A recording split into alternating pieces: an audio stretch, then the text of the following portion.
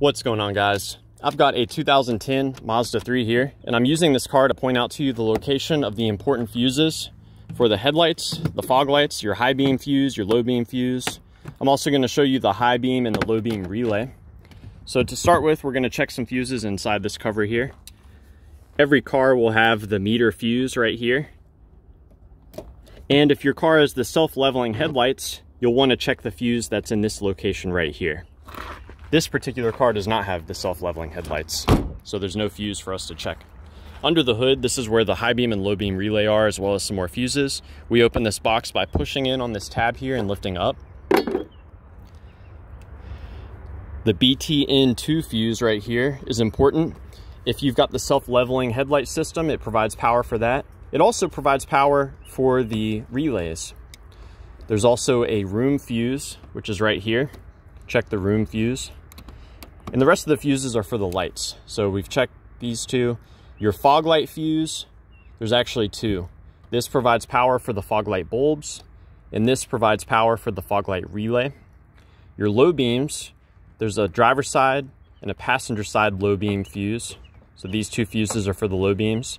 And your high beams receive power from this 20 amp fuse right here. These two low beam fuses, as well as this high beam fuse, only receive power when the relays are energized. This is the high beam relay right here, and this is your low beam relay. Basic troubleshooting, you can tap on the relays. You can also grab and wiggle them. Sometimes relays get stuck, and by grabbing them, wiggling them, or tapping them, you can see about getting them unstuck. Beyond that, what we can do is we can actually pop the relays out. And let's say your low beams are not working you can swap the low beam relay with the high beam relay. And if after the swap, your low beams start working and your high beams stop working, then you know that the relay is probably the issue.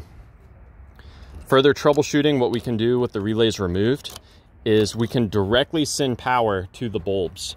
So here, high beam, if we, do, if we connect these two pins together, we will be directly sending power to the high beam circuit for the low beam, if we directly connect these two pins together, we'll be directly driving the low beam.